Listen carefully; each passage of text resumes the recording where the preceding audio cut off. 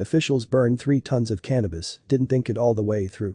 When police decided to burn over 3 tons of cannabis, you can probably guess how that worked out. By the time officials realized that they didn't think things all the way through, it was way too late. Indonesia is tough on drugs shoot you in front of a firing squad for smuggling drugs tough. When it comes to drugs, they simply don't play around. That's why it came as a shock that Palmerah police accidentally got an entire town high when they burned 3.3 tons of confiscated cannabis outside of their sub-precinct office. According to Breitbart, the haul was valued at $1 million. Although some conflicting reports say it was only 1,100 pounds, the result was what you'd expect, regardless of whether it was actually 3.3 tons or just 1,100 pounds. But, I digress.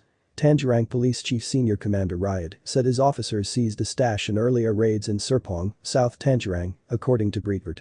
The destruction of the illicit substances was witnessed by several officials from the West Jakarta municipality.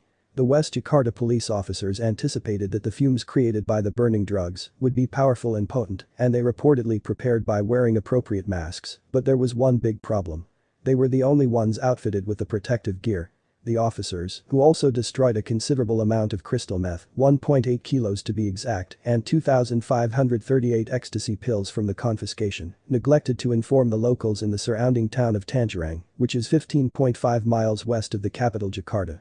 So, watching civilians and others nearby were left exposed to the fumes.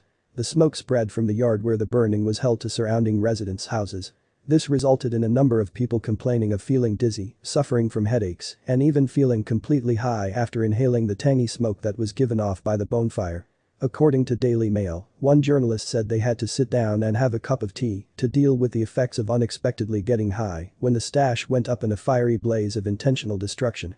I got a headache because I wasn't wearing a mask a resident named Deaton added. Shockingly, there were no confirmed complaints of the munchies. Of course, the symptoms wore off within a few hours with no long-term, residual effects. There are no reports whether there was a spike in snack food purchases that day. But, all joking aside, what's perhaps even more amusing is that this isn't the only time something similar has happened. In fact, there are quite a few classic clips of reporters struggling to cover similar events, since fire is a common method for disposing of drugs by authorities in various countries. You've likely seen some of these before, such as the familiar footage below. Burning a 3-ton pile of confiscated drugs can get an entire town high. Well this sounds like common sense, apparently it's not. In another clip, seen below, an embarrassed BBC reporter struggled to finish his broadcast as he got high after getting too close to a stack of burning drugs and inhaling the intoxicating fumes. Since they pride themselves on being tough on drugs, the Indonesian police force might want to rethink its drug disposal policy.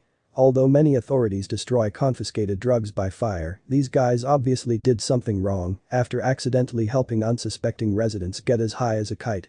Destroying tons of marijuana in a big bonfire proved to be as reckless as it sounds when those witnessing the event started inhaling the fumes. Who knew? Apparently, the officials never saw the episode of The Simpsons in which the fictional town of Springfield's police department did the same thing. Who says you can't learn a thing or two from cartoons?